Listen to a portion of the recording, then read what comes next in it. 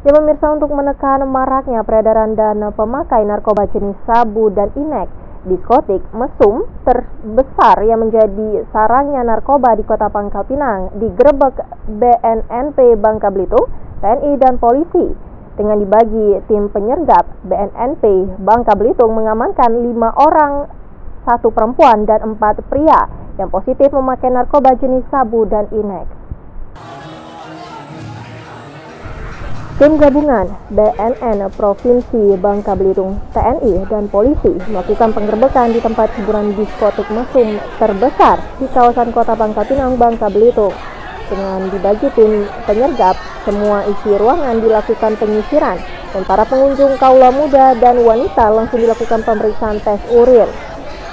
Saat petugas melakukan penyisiran, petugas mendapati lima orang, satu perempuan dan empat pria positif mengkonsumsi narkoba jenis sabu dan inek. Dari penuturan Kabit Pemberantasan BNNP Bubble, untuk satu wanita dan empat pria yang mengandung positif narkoba, langsung diproses dan diperiksa lebih lanjut di kantor BNNP Bubble.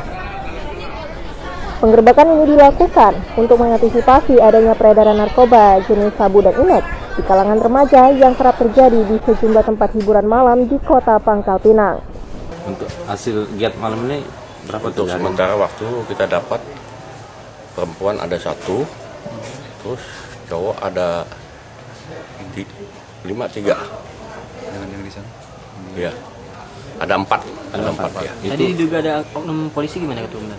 Gak ada, mana ada orang polisi? ada. Kalau ada orang polisi yang make, ya Pihak BNNP Babel pun saat ini akan terus melakukan penggerbekan di setiap tempat hiburan malam yang kerap terjadi peredaran narkoba yang meresahkan masyarakat Kota Pangkal Pinang, Provinsi Bangka Belitung. Tim Liputan Sarana TV melaporkan.